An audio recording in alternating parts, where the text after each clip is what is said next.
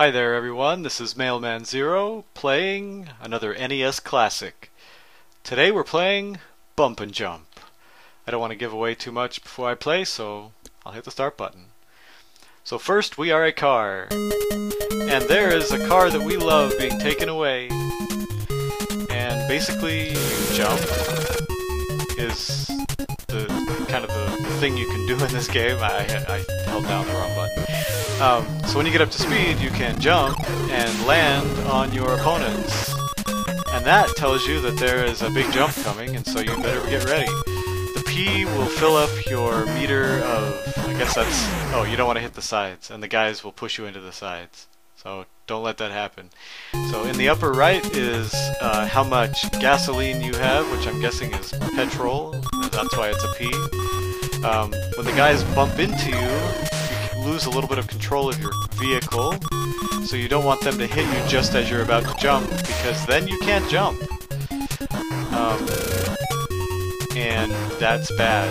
Um, the B button is I'm not sure what the B button does, but every time I'm pressing it, it's not useful, so just press the A button to jump. try to land on your opponents, and, and uh, don't let this dump truck dump on you, because it will dump on you if it gets a chance. Here these guys, are, it's like bumper cars, which is why they call it bump and jump, because that's basically what you do, you bump and you jump. And we made it to the next level. with only 12p left. If you run out of there, then you're dead. So there, you want to crash as many cars as you can to get bonus points. And each level is a little bit different. And has its own... Oh, and you can control yourself a little bit in the air. I thought I was dead because I was in the air when that came up. Do you see how that guy just went straight through there? This game is not realistic at all. Which is probably why it's so much fun to play. And that guy's gonna dump right on us if we're not careful. I do not want spinach on my head as a car. See, I knocked them into the wall, got some points for that, that's something. See, I'm, I'm getting greedy now, I'm just jumping constantly. If you're not careful, what'll happen is you'll be in the air, and the exclamation point will come, and you won't have enough time. Cause see, at the first level, they give you lots of time with that exclamation point, but later, it's like exclamation point, jump. You know, sometimes you have to even... See here, uh, it's two in a row.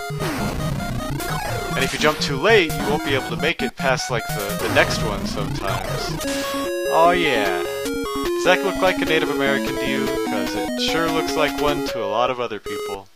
That may or may not be me. You just gotta love a game that says, Great! You crashed nine cars. I think the music in this game is wonderful. So you'll notice it, now there are these narrow portions of the level where if I get hit by a car in these narrows, I'm probably just gonna die. Maybe not quite that bad, but it's it's a significant risk. So I'm trying to get everyone before they get me. But you gotta be careful, because sometimes things will come where you need to jump. Oh, see, I can also just knock them into the edge. Why don't I just do that? I probably shouldn't have jumped these, because there's gonna be a time where I'm in the air and I gotta jump again, and I won't be able to. We'll see. Also, when I'm in the air, I can't get the petrol, which can also be a big problem. Oh, see, now that was actually a good thing. If I had gotten with that dump truck left, I think it would have taken me to the next level or something. I can't even remember what that was, but it's really hard to get them because, you know, you don't know whether it's going to be a, a garbage dump or whatever it normally dumps, or if it's going to be this thing that comes rarely that's good.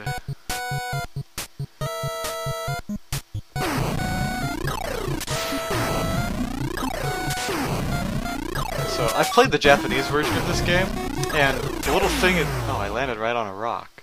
The little thing up at the top of the screen that tells you that you need to jump is a Japanese character. I don't know what it means, but in this game they just changed it to an exclamation mark because there was only space for one character.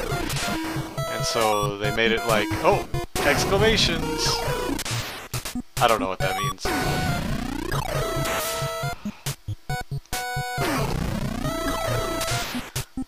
I'm doing pretty good considering that I haven't played this game in so long, honestly. Of course, I shouldn't have said that because then I crash into stuff and I get a game over. So give this game a try. I think you'll enjoy it. It's a lot of fun. Plus you can bump and jump. Alright, join me next time. Bye.